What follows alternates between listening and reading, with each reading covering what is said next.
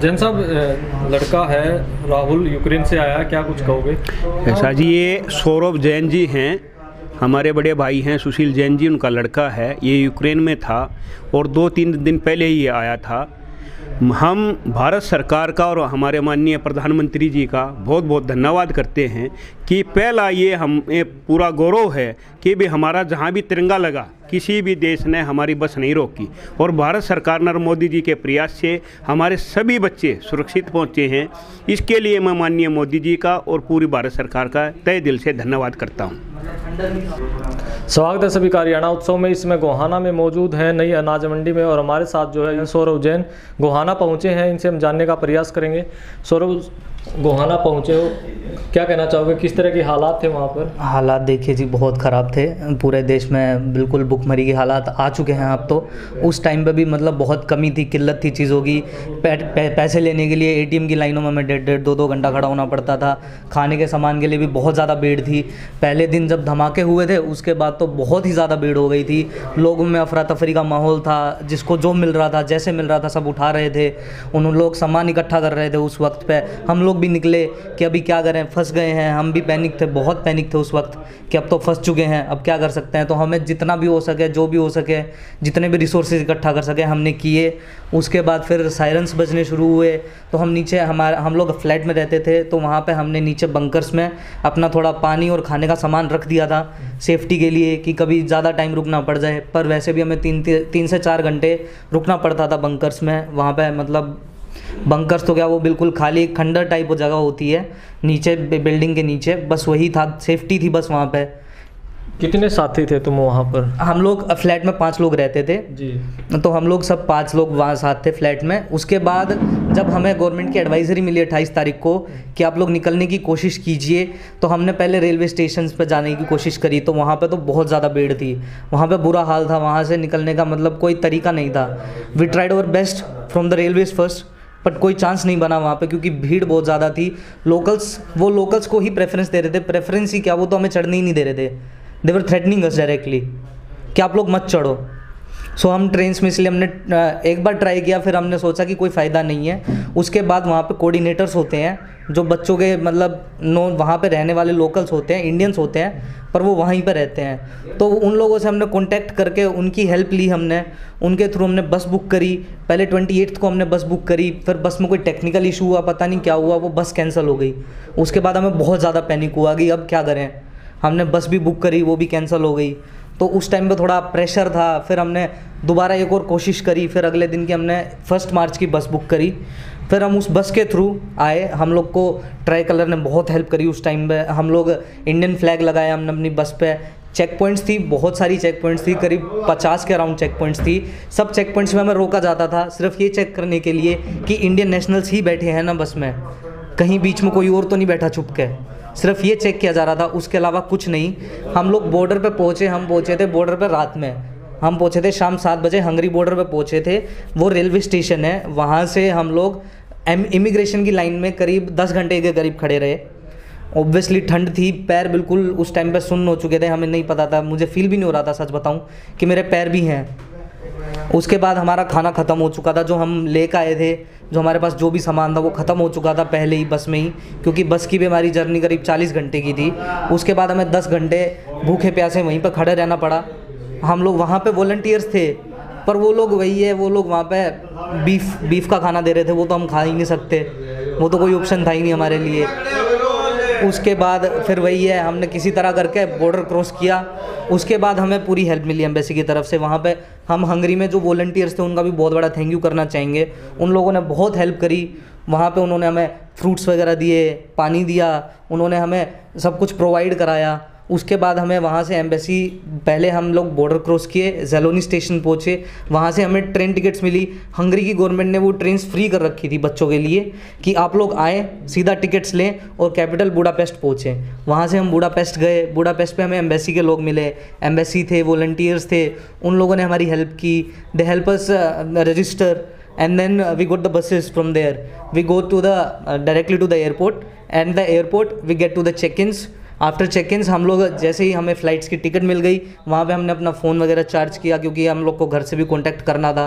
After long journey of sixty hours हमारे phones power bank सब discharge हो चुके थे।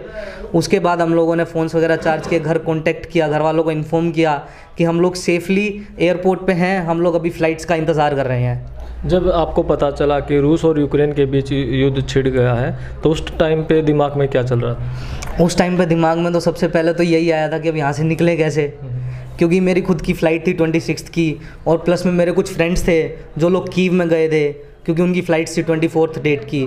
तो अभी उन लोगों के लिए भी टेंशन हुई। घर वालों के लिए तो चिंता हो ही रही थी कि ये अब घर वालों को घर वाले इतना टेंशन लेंगे पैनिक होंगे घर वाले पैनिक तो हम में भी था, पर घर वाले दूर हैं और वो उनको ज़्यादा टेंशन होती है कि हमारा बच्चा हमसे दूर है। उस चीज़ की हमें ज़्यादा टेंशन हुई। उसके बाद हमारे जो फ्रेंड्स थे कीव में थे, क्योंकि हमें पता लगा था कि कीव पर ज़्यादा टैग हो रहा है। क्योंकि वो कैपिटल सिटी है तो हमें उस चीज़ का ज़्यादा डर लगा कि हमारे दोस्त जो बेचारे वहाँ फंस गए हैं कीव में अब उनका क्या होगा? तो क्या कहेंगे जो हर भारत सरकार है कितनी मदद आप लोगों की सरकार के द्वारा हो पाई? देखिए भारत सरकार जितनी मदद कर सकती थी उन्होंने की। जितना गवर्नमेंट अपना एफर्ट डाल सकती थी उन्होंने डाला। अभी ये है कि गवर्नमेंट ने हमारे लिए सबसे बड़ा ये करा कि हमारा जो ट्राई कलर था उसके प्राउड के साथ हम चल पाए। वो सबसे बड़ी बात थी, क्योंकि हमने पाकिस्तानी बच्चों को भी देखा, और भी कंट्रीज़ के बच्चों को देखा, उन लोगों के लिए बहुत प्रॉब्लम्स हो रही थी। उन्हें हर चेक पॉइंट पर रुक के चेक किया जा रहा था अच्छे से, उनके सामान चेक किए जा रहे थे कि कहीं कुछ और तो नहीं है। हम लोग सिर्फ़ अपना ट्राई कलर लेकर चल रहे थे। हम लोग को अपना ट्राई कलर पर इतना प्राउड हो रहा था उस टाइम पर कि देखिए, हम लोग सिर्फ़ अपने तिरंगे की शान में हमें कोई कुछ बोल भी नहीं रहा है। हम लोग डायरेक्टली निकल पा रहे हैं। ऐसा भी कहा जा रहा है जो बच्चे आए हैं कि उनसे जो किराया है वो ज़्यादा ज़्यादा किराया लिया गया है। हाँ जी किराया ज़्यादा लिया गया है। नॉर्मली बस का जो किराया होता है हज़ार रुपये तक होता है बॉर्डर तक जाने का। हम लोगों ने एक बच्चे ने पंद्रह हज़ार पर बच्चा दिया हमने किराया बस का। वहाँ यूक्रेन में? हाँ जी। और जो आते टाइम में जो हवाई पर में जो किराया था वो? वो कुछ नहीं था वो गवर्नमेंट की तरफ़ से पूरा।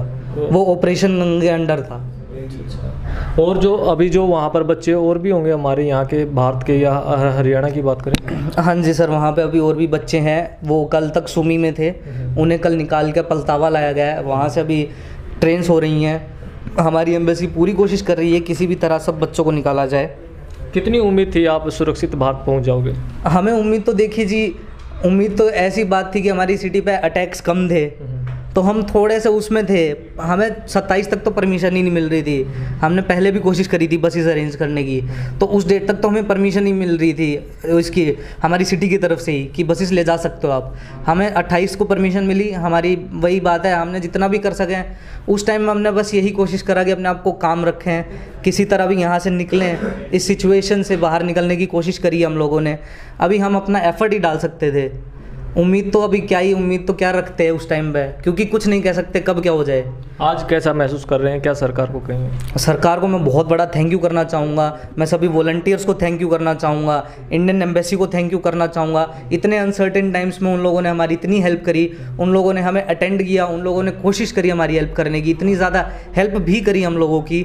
हम लोगों को एक पॉजिटिविटी आई। जब गवर्नमेंट ने ऑपरेशन गंगा अनाउंस किया कि हाँ अगर हम सिर्फ़ हमें सिर्फ़ बॉर्डर क्रॉस करना है खुद से हम बॉर्डर क्रॉस कर लेंगे उसके बाद हमारी सरकार हमारे साथ खड़ी है। हमें सिर्फ़ वहाँ तक पहुँचना है। अब आपकी जो पढ़ाई है वो आगे कैसे चलेगी? अभी पढ़ाई का सर कुछ नहीं कह सकते हम लोग हमें कुछ नहीं पता अभी। हम लोगों को अभी कोई आइडिया नहीं है कि कैसे होगा क्या होगा क्योंकि यूक्रेन की कंडीशन सभी तो नॉर्मल होते हुए नहीं दिख रही। कौन सा ईयर चल रहा था? मेरा फोर्थ ईयर था सर अब तो देखिए सर गवर्नमेंट ही हेल्प कर सकती है अगर गवर्नमेंट कुछ करे तो हम लोगों के लिए। सौरभ के पिताजी भी हमारे साथ मौजूद हैं। सर क्या नाम है आपका? सुशील जैन है जी जैन साहब क्या कहोगे किस तरह से जब आपको लगा कि भाई वहाँ पर लड़ाई छिड़ गई है बच्चा आपका वहाँ था कैसा महसूस कर रहे थे? उस टाइम तो जी इतना पैनिक फील हो गया। अगर हमारे को ये सर्टेन नहीं था कि हमारा बच्चा वापस आएगा या नहीं आएगा।